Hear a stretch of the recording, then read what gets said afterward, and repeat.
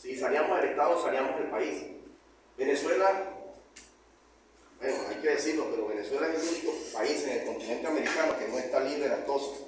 Por eso es que nuestros productos no pueden ser exportados, porque no tenemos la certificación de, de los órganos internacionales de salud animal. Este, si fuéramos, pudiéramos exportar nuestros productos, pues tuviéramos un mejor valor agregado y por ende pues mejoraríamos paulatinamente la, la economía de nuestro país.